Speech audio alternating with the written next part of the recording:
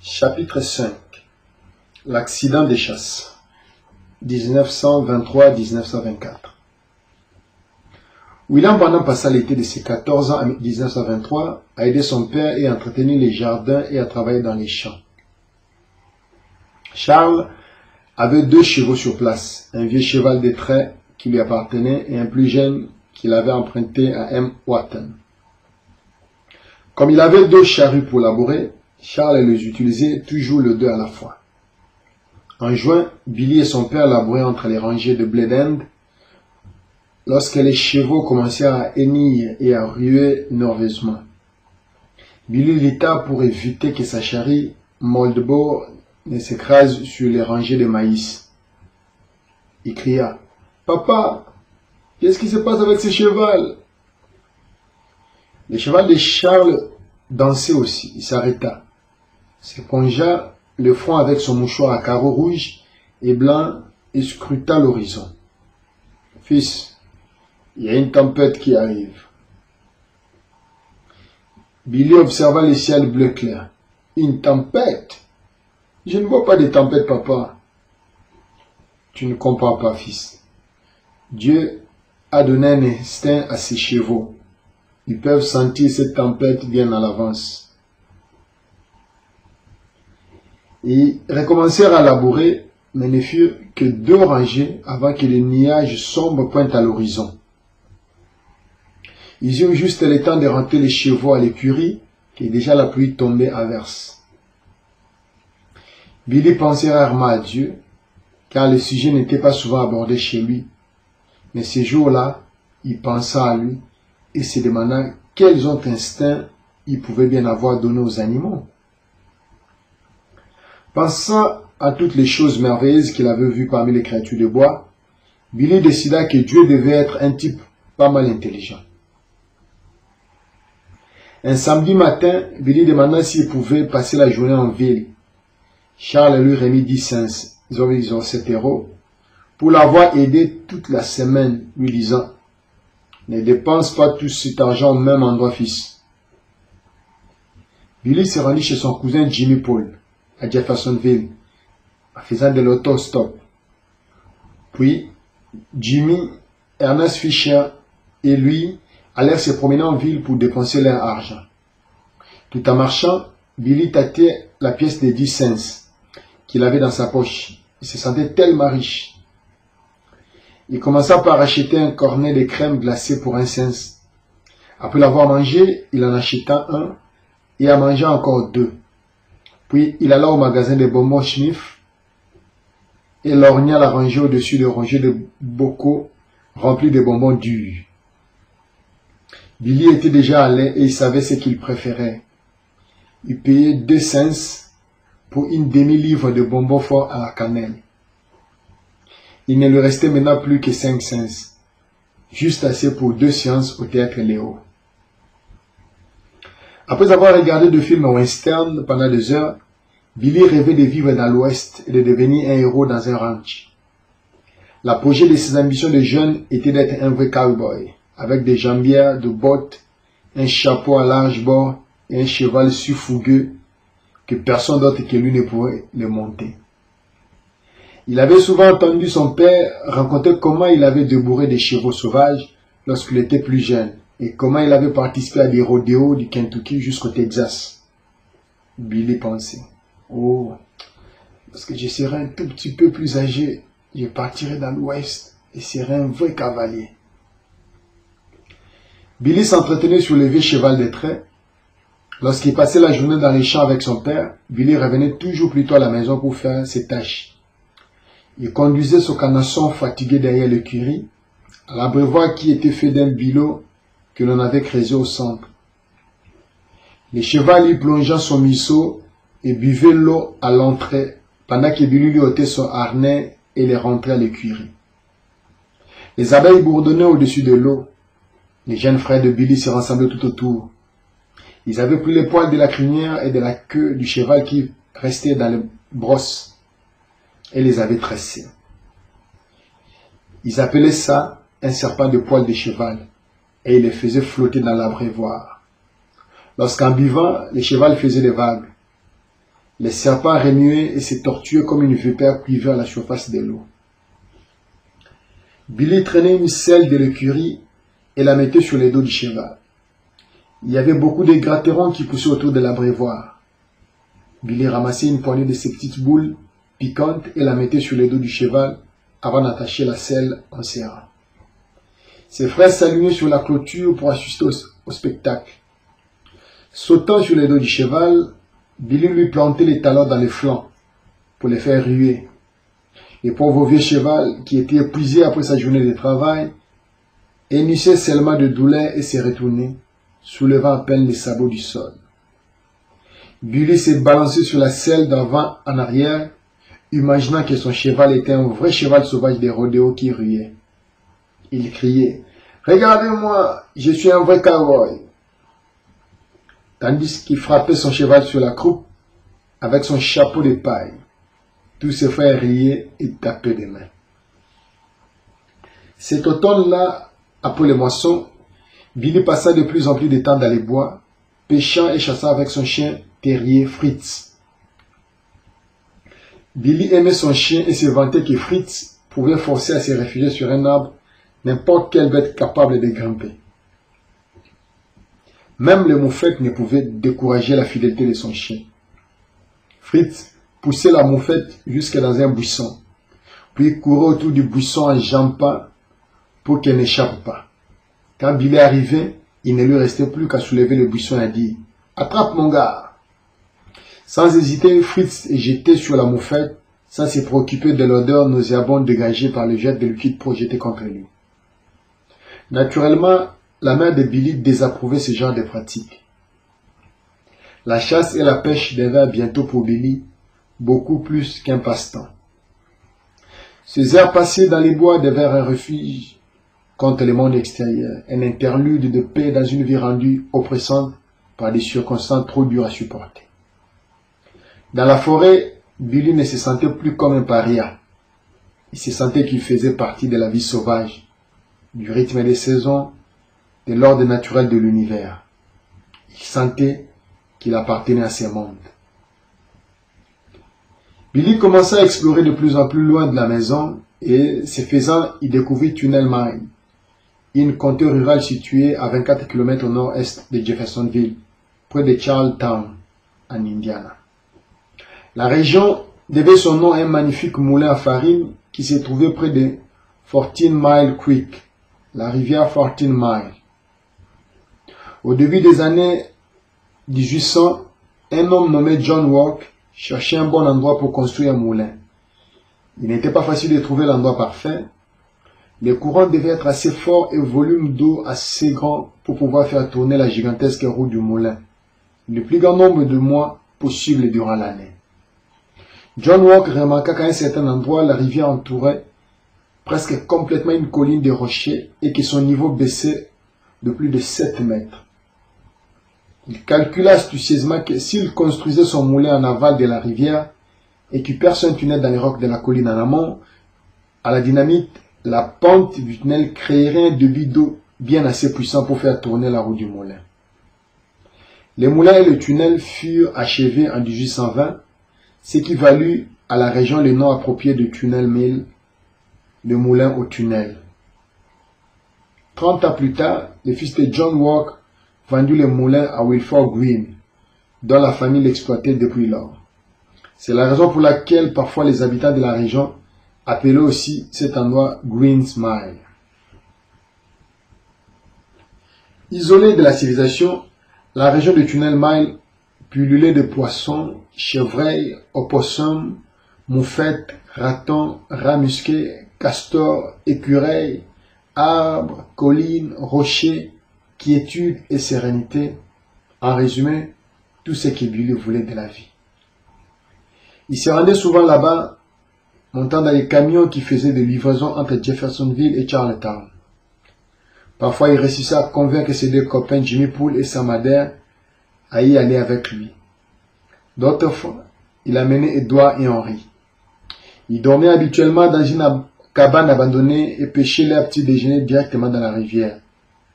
À un certain endroit, la rivière était profonde de 3 mètres et large de 12 mètres. et un endroit rêvé pour se baigner. Billy appela cet endroit les trous du castor. Il prenait une grande corde et l'attachait à une branche d'arbre tendu au-dessus de l'eau. Du rivage, il se pendait à la corde, se balançait au-dessus de l'eau en décrivant un grand arc, puis se laissait tomber au milieu. Les garçons s'amusaient pendant des heures avec cette corde. Lorsque personne ne pouvait l'accompagner, Billy se rendait seul à Tunnel Mine en faisant de l'autostop. Il pouvait passer des jours à chasser, à pêcher, explorant la forêt au sol accidenté. Au cours d'une de ses randonnées, il découvrit accidentellement ce qui allait devenir sa future retraite. Au détour d'une colline, il se retrouva au pied d'une falaise de calcaire. Un peu plus loin, le sol devenait un ravin d'environ 24 mètres de profond. Aux alentours, la forêt était très dense et il y avait peu partout de blocs de calcaire qui étaient tombés dans la paroi. Billy était en train de s'effrayer prudemment un chemin au pied de la falaise lorsqu'il remarqua un trou de 60 cm de large de ses pieds, presque complètement dissimulé par un buisson. Il s'est dit tout d'abord que c'était le terrain des renards, une fente dans les rochers qui permettait aux animaux de se protéger du froid. Mais une inspection de plus près lui révéla que c'était l'entrée d'une grotte. Billy se tortua pour y pénétrer. Les pieds en avant, les trous étaient profond d'environ 90 cm, puis le sol était en pente jusqu'à un endroit passage de la colline, assez haut pour qu'il puisse se tenir debout. L'air était froid et humide. Billy s'effraya un chemin le long du boyau et avançait un petit peu, mais il s'est mis à avoir peur. Et s'il tombait dans un trou? Il n'osait pas aller trop loin dans l'obscurité. Il revenait plus tard, mieux préparé. Lorsque Billy retourna dans la région, il apporta des chandelles afin d'explorer la grotte plus loin. Il pénétra dans l'ouverture en se tortillant et descendit la pente glissante en dérapant, jusqu'à l'endroit où il pouvait se tenir debout. Le boyau avait seulement 45 cm de largeur. Bien que le paroi ait été à peu près perpendiculaire, les ombres causées par la flamme dansant de sa bougie accentuaient les angles de cette cavité en calcaire. Les passages tournaient légèrement vers la droite puis s'élargit un peu. À cet endroit, le sol et les plafonds étaient relativement plats, comme si cette partie de la grotte avait été aménagée en habitation pour les humains. Il se trouvait même une saillie plate sortant d'un mur qui avait la taille d'un lit, environ 3,6 mètres plus loin. Les corridors redevinrent plus étroits les sols et les plafonds de la grotte étaient irréguliers et au plafond, il y avait des morceaux de calcaire acérés qui, quoique solidement pris dans les rocs, donnaient l'impression de vouloir tomber à tout moment. Maintenant, Billy s'est trouvé à 7,5 mètres de l'entrée de la grotte. Soudain, il s'arrêta et souffla d'étonnement. Devant lui, la grotte s'élargissait en une petite pièce. Au centre de la pièce se trouvait une table formée dans un gros bloc de calcaire. La table était un bloc rectangulaire d'environ 90 cm de haut, 90 cm de large et 1 m de long. Les dessus de la table semblaient remarquablement plats et les coins étaient parfaitement en angle droit. Mais la chose la plus étonnante, c'était un morceau de roc à trois côtés qui avait la forme précise d'une pyramide à l'envers. La pierre pendait du plafond directement au-dessus de la table. La pointe de la pyramide n'était qu'à quelques pouces de la table. Billy était content de sa découverte. Cela semblait être une parfaite retraite. Il décida de ne pas montrer à ses frères ou à ses copains. Cela serait son secret. Lorsqu'il quitta la grotte, il camoufla l'entrée avec du feuillage pour éviter qu'un autre chasseur ou randonneur ne la découvre. Cette époque-là fut la meilleure période de sa jeunesse. Ses bons souvenirs, explorant le bois, dormant à la belle étoile, pêchant pour son petit déjeuner et chassant pour son souper avec sa carabine de calibre 22. Les talents de Turin de Billy s'améliorèrent tellement qu'il pouvait maintenant tirer une écureuil à 45 mètres. Et chaque fois, la bataille l'atteignait entre les deux yeux. En fait, par esprit sportif, Billy ne pressait jamais la détente sur l'écureuil ne regardait pas dans sa direction. et il n'était pas moins doué avec un fusil de chasse, pouvant facilement tirer un oiseau en plein vol. Un soir d'automne 1923, Billy, qui avait 14 ans, revenait à la maison avec son cousin Jimmy Paul. Ils avaient tous deux passé l'après-midi à la chasse aux oiseaux, mais maintenant leurs pensées étaient ailleurs. Ils plaisantaient, riaient et s'envoyaient de boutades. Malheureusement, Jimmy avait oublié de décharger son fusil. Soudain, un coup de fusil tiré à bout portant partit atteindre les jambes de Billy. Billy s'écroula en poussant un cri de douleur. Jimmy tomba sur ses genoux en balbutiant. Je suis désolé, Billy. Je suis tellement désolé, c'est un accident, je ne fais pas exprès. Puis, il vit les jambes de son ami. Jimmy pâlit affreusement. Essayez de ne pas bouger, Billy. Je vais chercher de l'aide. Non, ne me quitte pas, cria Billy. Mais Jimmy avait déjà déguerpi comme un lièvre. Lorsque Billy regarda ses jambes, il vit avec froid qu'elles avaient presque éclaté en deux morceaux. Il laissa retomber sa tête sur le sol et s'est mis à trembler de terreur. Il cria Dieu, aie pitié de moi. Tu sais que je n'ai jamais. Puis il s'arrêta, essayant de, penser, essayant de penser à quelque chose de bien qu'il aurait pu faire dans sa vie. Quelque chose qui pourrait influencer Dieu afin qu'il ait pitié de lui. La seule chose à laquelle il pouvait penser, c'était Dieu, aie pitié de moi. Tu sais que je n'ai jamais commis adultère. Bientôt, Jimmy revint avec un voisin, Frankie H., qui conduisit Billy à l'hôpital Clark County Memorial. Billy hurlait de douleur pendant que les infirmières coupaient de gros morceaux de chair et nettoyaient les plaies ouvertes du mieux qu'elles pouvaient. M.H. tenait la main de Billy. Lorsque les infirmières eurent terminé, elle dut dégager les doigts de Billy des poignets de M.H. Une radiographie releva la présence de balles tellement près des artères que la moindre égratignure pouvait sectionner les veines et Billy se mettait à saigner. À cette époque-là, les transfusions de sang n'existaient pas encore. Si Billy perdait trop de sang, ce serait fatal. Cette nuit-là, Billy dormit d'un sommeil agité, parfois gémissant, d'autres fois hurlant de douleur. Un peu après minuit, il se réveilla à cause d'un bruit d'éclaboussure. Tâtant ses jambes mutilées, il plongea sa main dans une mare de sang. Il sonna pour alerter les infirmières, et tout ce qu'elle put faire fut de ponger le sang avec des serviettes et de resserrer les bandages. Le lendemain matin, les infirmières conduisaient Billy sur un chariot jusqu'à la salle d'opération. Puis, elle endormit avec de l'éther. Le docteur Reed fit de son mieux pour réparer les dommages, mais les garçons étaient si faibles qu'ils ne pensaient pas qu'ils s'en sortiraient. À part les parents de Bill, des autres personnes veillaient à Billy durant cette épreuve. Madame Stewart, une amie de la famille, et Madame Roeder, dont les maris étaient directeurs de l'usine automobile de l'endroit. Billy dormit pendant huit heures sous l'effet des analgésiques. Lorsqu'il ouvrit les yeux, il vit Madame Roeder qui était assise près de son lit et qui pleurait parce qu'il était si près de la mort. Il s'est rendormi et, pendant les heures qui suivirent, il perdit et reprit connaissance plusieurs fois. Puis quelque chose arriva, comme un rêve, mais plus précis qu'un rêve, aussi clair que s'y était réellement. Il se sentait tomber, tomber à travers les nuages dans une éternité sombre, plus bas, plus bas, plus bas. Ce monde étrange semblait ne pas avoir de fond, rien pour arrêter sa chute. Il cria Papa Ces mots semblaient vides et sans vie. Il cria Maman Maman Sa mère n'était pas là.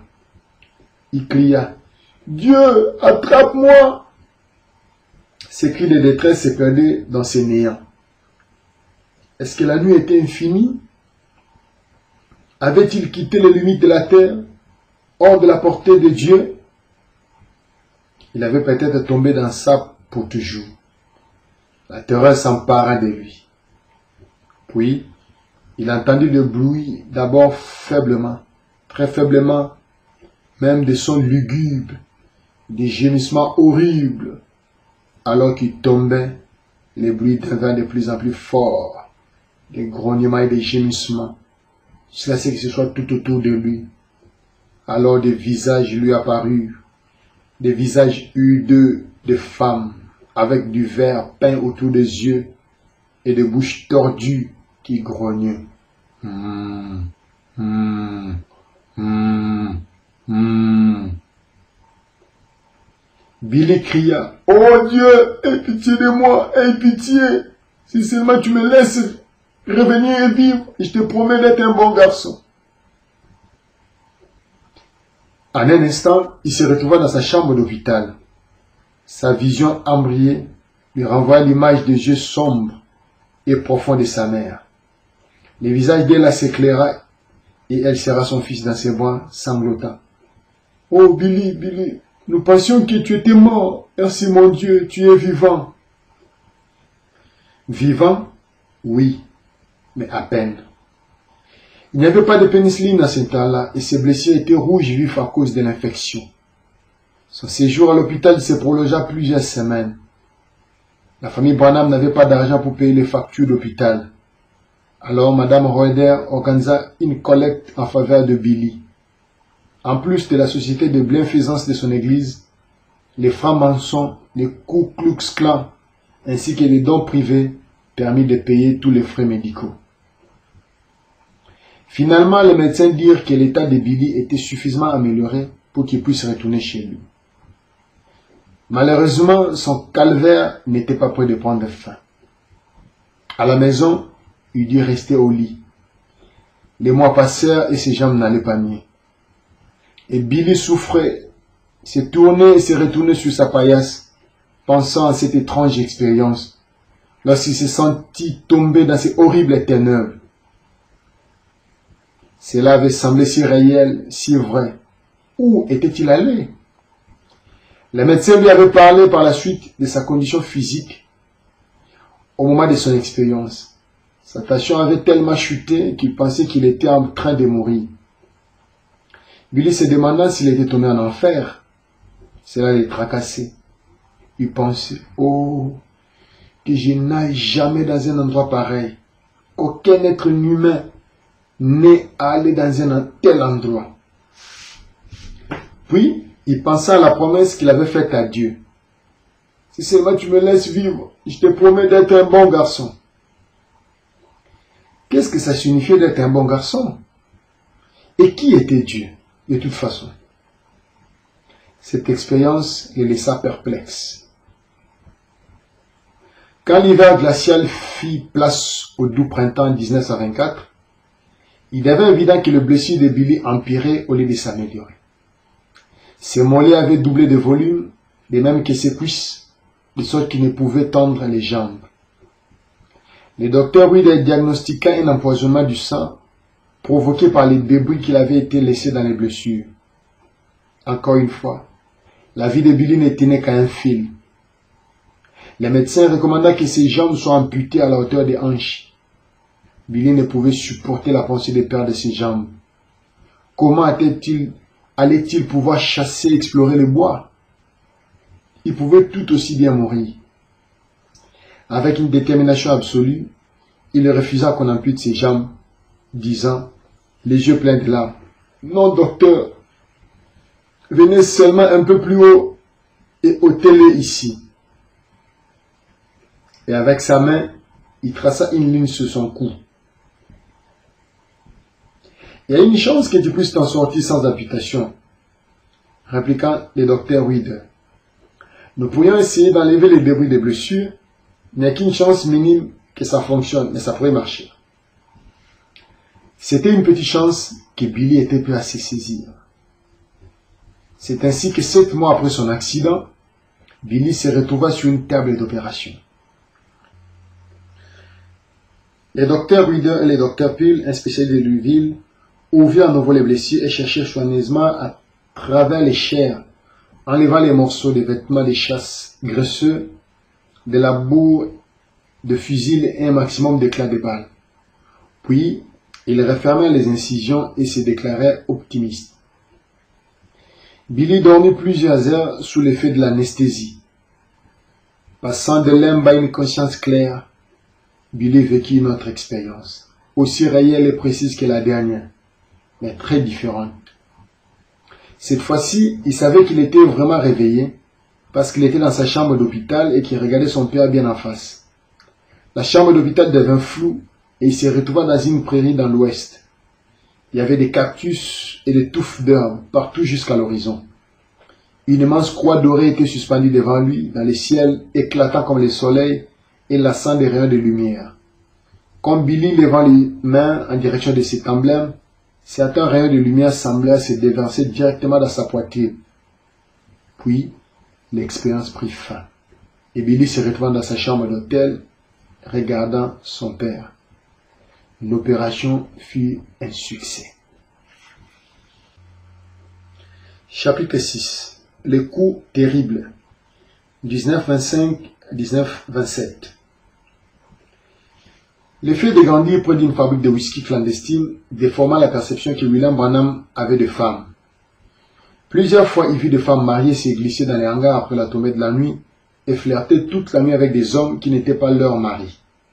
Les matins, ces femmes étaient souvent tellement ivres que les hommes leur donnaient du café et les faisaient marcher en rond, essayant de les dégriser juste assez pour qu'elles puissent rentrer chez elles en tutubant et servir le petit déjeuner à leur famille.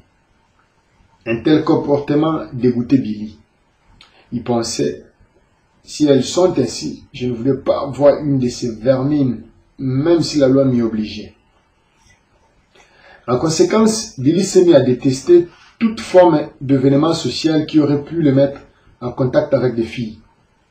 Que ce soit une fête d'anniversaire ou une soirée de danse paysanne, Billy faisait tout ce qui était possible pour l'éviter. Aussitôt qu'il entendit parler des préparations d'une festivité, il s'arrangeait pour noter l'endroit et l'heure et s'arrangeait pour être occupé ailleurs à l'heure de la fête. Occasionnellement, son père et sa mère invitaient des voisins pour une soirée de danse animée. Ce soir-là, Billy prenait son chien et sa lanterne et s'enfonçait dans les bois et chassait des ratons et des opossums pendant la moitié de la nuit. Lorsqu'il revenait de la maison, et que le musicien était encore là à faire chanter les cordes de leur violon, Billy grimpait sur le toit de la l'apprenti et y dormait jusqu'au lever du jour. La fin de l'école n'avait pas résolu les problèmes de Billy. Cela les avait seulement déplacés. Il devait toujours lutter avec le fait d'être constamment rejeté. La plupart des garçons de la région ne l'aimaient pas parce qu'ils ne voulaient pas fumer ni boire. Les filles ne l'aimaient pas parce qu'ils ne pouvaient pas aller danser et au fait, personne ne les comprenait. Pire encore, Billy lui-même ne se comprenait pas. Bien qu'il ait aimé les gens et désirait ardemment être accepté par eux, il ne pouvait se résoudre à agir comme les garçons de son âge. Il se disait, bon, si je dois être un reclus, je serai un trappeur. Lorsque j'en aurai l'âge et que quelque part je pourrai gagner assez d'argent, pour prendre soin de ma mère, j'irai au Colorado ou dans l'État de Washington, ou peut-être même en Colombie-Britannique, et je serai trappeur. J'amènerai mon fusil et mes pièges et m'achèterai des chiens, et je vivrai là-bas jusqu'à la mort, et je ne me marierai jamais. Billy pensait toujours à sa mère lorsqu'il faisait des plans à long terme. Ça lui était pénible de voir sa mère souffrir autant à cause de la manière de vivre peu réluissante de son père. À 30 ans, elle était mère de huit garçons, dont l'aîné avait 15 ans. Il n'avait jamais assez d'argent, jamais assez de vêtements et souvent, il n'y avait pas assez de nourriture. Billy l'avait vue assise, pleurant sur le pas de la porte verrouillée de l'intérieur, un bébé dans les bras, pendant que Charles était couché à l'intérieur, ivrement toute nuit. Et en dépit de cela, Ella Branham était restée fidèle à son mari et luttait continuellement pour que sa famille soit vêtue, nourrie et la plus heureuse possible. Billy l'aimait pour sa décence. Mais plus que cela, il l'aimait parce qu'elle acceptait tel qu'il était, avec toutes ses particularités. Il trouvait qu'elle méritait mieux que ça dans la vie, et il s'est considéré responsable de son bien-être. Son exemple donnait à Billy l'espoir qu'il y avait d'autres femmes décentes dans le monde. Vers 1926, une nouvelle fille déménagea en ville et liée d'amitié avec la petite amie de Jimmy Paul. Comme Billy et Jimmy étaient des bons copains, Billy finit par tomber sur elle dans la maison de Jimmy. Sa beauté l'éblouit. Il trouva qu'elle avait les yeux doux comme celle d'une colombe, les dents blanches comme des perles, et le cou aussi gracieux que celui d'un cygne. Lorsque Jimmy les présenta l'un à l'autre, elle battit des cils et dit avec coquetterie, Comment vas-tu dire si je peux arranger ça Je ne sais pas. Billy hésita, puis décida que si cette fille magnifique l'aimait bien, il devait faire une folie. J'ai 35 0,21 euros. C'est la plus à Jimmy. Parfait, j'ai 35 cents. Ça devrait suffire. En plus de l'essence, il faudra que nous leur offrons quelque chose à boire, ou une crème glacée ou quelque chose comme ça. Billy eut une idée qui pourrait peut-être le mettre en valeur aux yeux de cette fille. Je sais ce qu'on va faire, Jimmy. Pourquoi ne t'occupes-tu pas de la voiture et moi des achats? Ah, ça me semble très bien. Il dut soulever les roues arrière de l'auto et actionner la manivelle une bonne douzaine de fois avant que le vieux modèle T démarre. Le soleil s'était déjà couché lorsqu'ils allaient chercher le fille. Billy et sa petite amie s'assirent à l'arrière. Toujours aussi timide, Billy s'assit le plus loin possible d'un côté, tandis qu'elle essayait de l'autre côté. Il espérait que l'obscurité et l'espace qu'il y avait entre eux dissimuleraient ses habits élimés. Ils se promenèrent au clair de lune dans la campagne, avec les toits de la voiture ouverts. À l'avant, Jimmy et sa copine faisaient la conversation. Billy était assis tranquillement et regardait sa petite amie à la dérobée. Il la trouvait tellement rayonnante. Au clair de lune, et son cœur s'est gonflé de fierté à la pensée que cette beauté sortait avec lui. Peut-être les filles n'étaient-elles pas si mal après tout. Elle regardait et sourit. C'est une belle soirée, pas vrai? Billy répondit. Oui, mademoiselle. Il y a un bal au jardin sycomore, dit-elle. Allons-y. Billy s'est redit. Non, mademoiselle, je n'ai pas envie d'y aller, je ne danse pas. Il continua à se promener dans la campagne, puis passa devant une petite épicerie. Billy et Jimmy avaient déjà planifié tout ce qu'ils voulaient faire. Billy s'éclaircit la gorge. Jimmy, j'ai soif. Tu ne trouves pas que nous pourrions nous arrêter? Bonne idée, Billy. Jimmy arrêta la voiture devant l'épicier et dit Je vais aller acheter quelque chose à manger et à boire. Ceci était aussi planifié car Jimmy n'avait plus un sou. Ils avaient dépensé 25 cents pour deux gallons d'essence, si bien qu'il est resté les 40 cents que Billy avait dans sa poche. Billy dit, laisse tomber Jimmy, j'irai. Les sandwichs coûtaient 5 cents chacun, quatre gros sandwichs au jambon avec des oignons. Billy avait maintenant juste assez d'argent pour acheter quatre Coca-Cola. Ils mangeaient dans la voiture, appréciaient l'air frais de la nuit, puis il se sentait bien. La fille l'aimait bien. Ce soir, il faisait partie de la bande. Il était quelqu'un. Il finit de boire la coca, puis Billy ramena les bouteilles vides à l'épicerie pour recevoir les crédits des bouteilles. Lorsqu'il revint, il les retrouva les trois assis dans l'auto en train de fumer. Billy n'en revenait pas. Sa compagne, cette jolie fille, fuma une cigarette.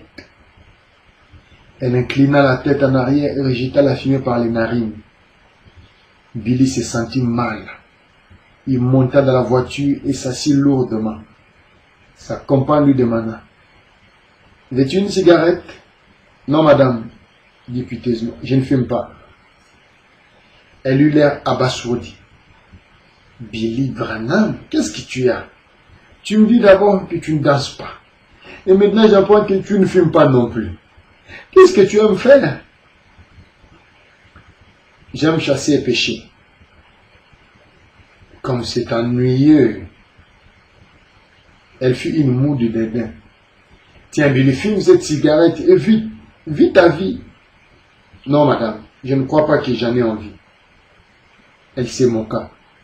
Tu veux dire que nous, les filles, nous avons plus d'écran que toi? Quelle grosse poule mouillée. Poule mouillée? C'est horrible. C'est horriblement lui fit encore plus mal que la fois où un piège castor s'était refermé sur sa cheville. Poule mouillée? Pas lui. La douleur lui déchira le cœur. Il était le méchant Bill, les trappeurs, les chasseurs, les lutteurs. Poule mouillée Il allait lui montrer. Donne-moi cette cigarette, ordonna-t-il. D'un air hautain, elle lui entendit une tirer du paquet. Billy lui dit, donne-moi une allumette. Ah voilà enfin un homme, dit-elle en lui tendant une allumette. Le deux mains occupées, Billy frotta l'allumette et la leva vers sa bouche en même temps que la cigarette. Mais avant que la cigarette touche ses lèvres, il entendit un bruit. Ça ressemblait au bruissement du vent dans les feuilles. Il baissa sa cigarette et écouta attentivement. Il ne pouvait plus l'entendre. Il pensa, bof, c'est juste mon imagination. Sa compagne lui demanda, qu'est-ce qui se passe, Billy Il secoua la tête. Oh rien, je sais simplement de l'allumer. Il leva encore la cigarette vers sa bouche. Une fois encore, il entendit ces sons, plus forts que cette fois-ci. Un vent calme et régulier qui soufflait avec de plus en plus de force jusqu'à ce qu'il devienne un rugissement dans ses oreilles.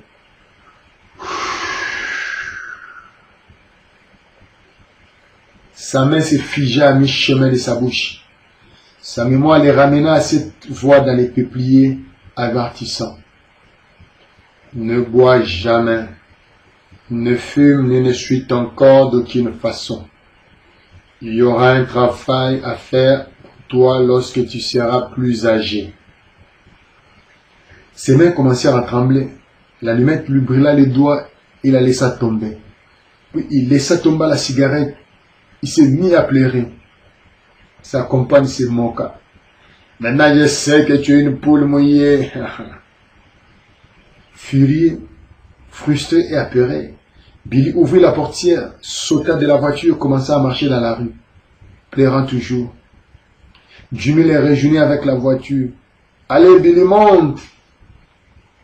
Billy secoua la tête. Non, Jimmy.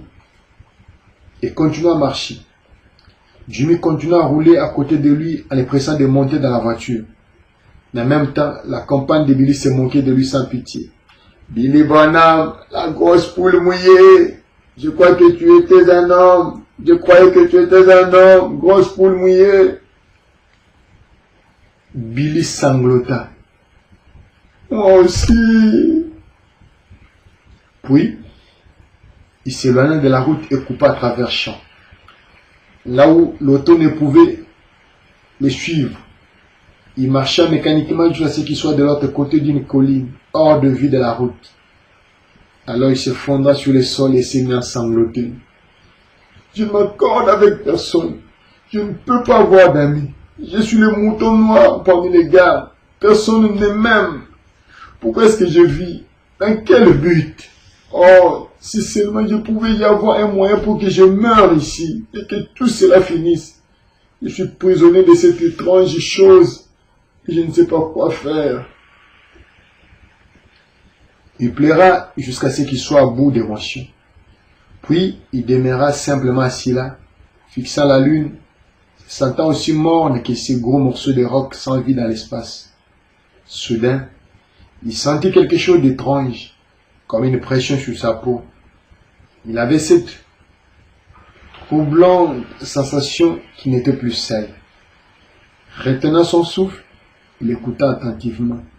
Il n'y avait pas de bruit. Il regarda tout autour de lui, les champs inondés par l'éclair de la lune. Il n'y avait personne en vue. Et pourtant, Billy se sentait que quelqu'un ou quelque chose se tenait très près de lui. Un frisson lui parcourut les chines. Terrifié, il partit en courant vers la maison. De telles expériences faisaient réaliser à Billy que sa vie était différente d'une vie ordinaire. Et ceci pas seulement à cause de la pauvreté, d'étranges incidents nécessaires de survenir pour le tourmenter, comme la fois où il rencontra une dizaine de bonnes aventures. Il était à un carnaval avec Jimmy Poole et flânait dans l'allée, écoutant les bonimenteurs faire de la publicité pour leurs jeux et leurs stands. Les deux garçons passèrent devant la tente d'une dizaine de bonnes aventures. Une jeune gitante se devant la tente. Elle appela. Et toi, viens ici, une minute. Les deux garçons se retournèrent. Toi, avec les chandelles raillées, ajouta-t-elle. C'était Billy qui portait les chandelles raillées. Il s'avança vers la gitane, pensant qu'elle désirait peut-être qu'elle aille lui chercher un Coca-Cola et un sandwich. Oui, madame, qu'est-ce que je peux faire pour vous? Elle dit, savais-tu qu'il y a une lumière qui te suit? Billy trouva que c'était quelque chose de proche à dire. Une lumière? Que voulez-vous dire? Elle expliqua. Je vois que tu es né sous un signe. Trois grandes planètes se sont alignées devant ta première maison, toutes parfaitement alignées vers Neptune. C'est la raison pour laquelle il y a une lumière qui te suit. Tu es né pour un appel divin. Billy a mis la chair de poule. Écoutez, femme, taisez-vous, lui lança-t-il, et il quitta l'endroit rapidement. Plus tard, il a parlé à sa mère. Elle dit, Billy, tu as bien agi. Les de bonnes aventures sont du diable. Cela le tracassait. Pourquoi quelqu'un qui était manifestement connecté avec les démons lui dirait avoir un Comment la gitane avait-elle appelé cela? Un appel divin.